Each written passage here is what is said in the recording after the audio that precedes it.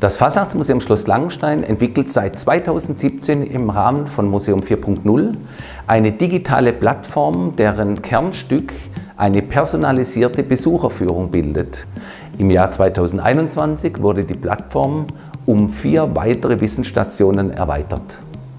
Bereits entwickelt war die Augmented Reality Brillenanwendung Masken der Welt, eine holographische Anwendung, bei der auf einem Globus unterschiedliche Riten und Bräuche interaktiv erkundet werden können. In der Evaluationsphase wurden allerdings beim Tragen der AR-Brille einige Probleme sichtbar. Wir entschlossen uns darum, diese Anwendung mit Tablet-PCs und Smartphones weiterzuentwickeln.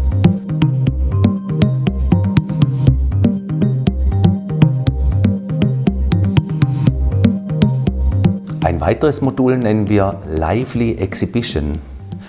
Mit diesem Tool ist es möglich, von Besuchern produzierte Ausstellungen ohne Zeitverzögerung in das Museum einzuspielen.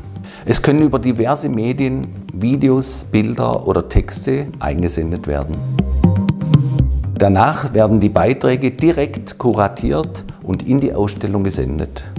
Veränderungen, etwa beim immateriellen Kulturerbe in Corona-Zeiten, können dadurch aktuell dokumentiert werden.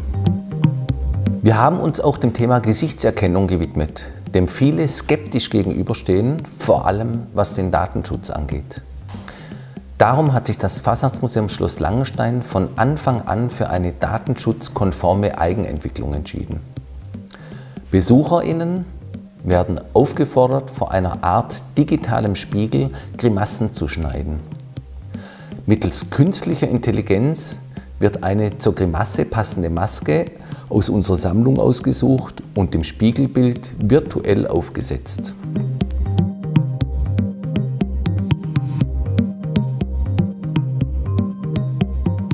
Gleichzeitig werden Informationen zu den Exponaten vermittelt. Die vierte Wissensstation ist ein Multitouch-Tisch, der sich auf kreative Weise mit den mittelalterlichen Wurzeln der Fasnacht beschäftigt.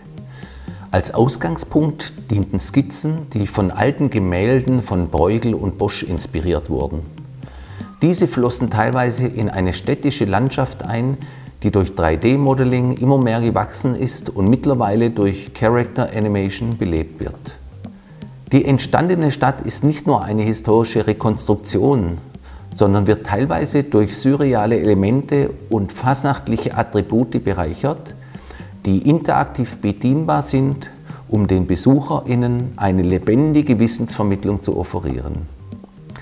Das Besondere daran ist, dass die dachähnliche Konstruktion der Screens eine Vorder- und Rückansicht der Stadt zeigt.